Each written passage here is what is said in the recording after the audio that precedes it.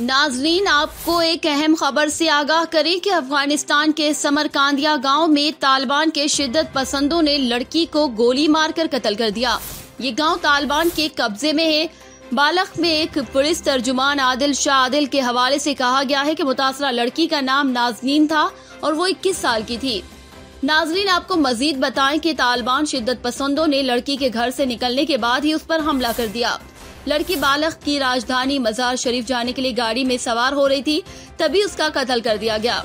Police ने बताया कि हमले के वक्त खातून ने बुरका पहना हुआ था, जिससे चेहरा और जिसम दोनों छुपे हुए थे। आपको ये भी बताएँ कि तालिबान ने लड़की पर हमला करने से इनकार कर दिया है। तंजीम के तर्जुमान ने कहा है कि वो हमले की जाँच कर रहा है। रिपोर्ट्स में कहा गया है कि तालिबान अफ़गानिस्तान में लड़कियों और खातन का अगवा कर रहे हैं।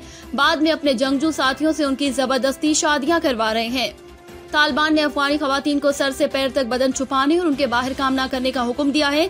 इतना ही नहीं, लड़कियों की पढ़ाई पर भी पाबंदी आयद कर दी है। इसके अलावा फरियाब के कई हिस्सों में तालिबान ने दुकानों पर खातन के सामान बेचने पर भी पाबंदी आयद कर दी है। फरियाब के मकामी लोगों का कहना है कि तालिबान के ज़रिए बनाए गए जवाबित पर अमल न करने पर लोगों को सख्त सजाएँ दी जाती हैं।